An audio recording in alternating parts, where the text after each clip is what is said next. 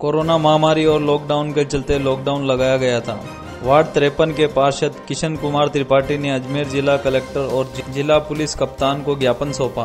पार्षद किशन कुमार त्रिपाठी ने बताया कि क्षेत्र में पिछले एक महीने से पॉजिटिव मरीज़ सामने नहीं आया है और न ही इधर स्क्रीनिंग और जाँच का काम चल रहा है।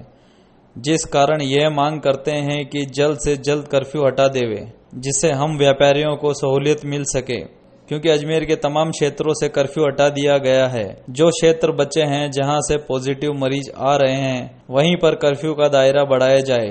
हमारे क्षेत्र में काफ़ी समय से कोई पॉजिटिव मरीज़ सामने नहीं आया है। वहीं अपना मांग पत्र सौंपा। उन्होंने मांग की है कि जल्द से जल्द हमारी मांगे पूरी करें। सर बताइए आज के संदर्भ में ज्ञापन लिया क्या?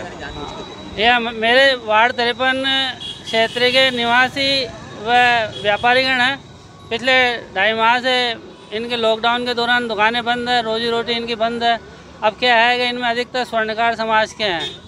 आगे साहब हैं और इन्होंने भाव से लेकर और सोना का सब ऑर्डर ले रखे हैं। और ये सब परेशान है।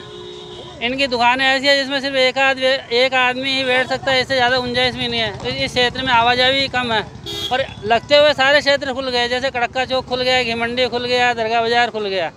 तो हम संबंधित अधिकारी श्रीमान पुलिस अधीक्षक महोदय एवं जिला जिलाधीश महोदय से ज्ञापन देने आए कि इनका यह विचार कर और पुनः समीक्षा कर इनको कर्फ्यू से मुक्त किया जाए। क्योंकि अब इनकी ये हालत नहीं है कि इस लॉकडाउन को आगे तक बर्दाश्त किया जा सके। पिछले डेढ़ माह से कोई भी इधर हमारे यहाँ पॉजिटिव नहीं निकला।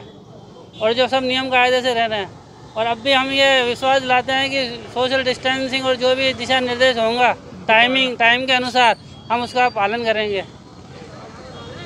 कृष्ण कुमार त्रिपाठी वार्ड तिरपन। पार्षद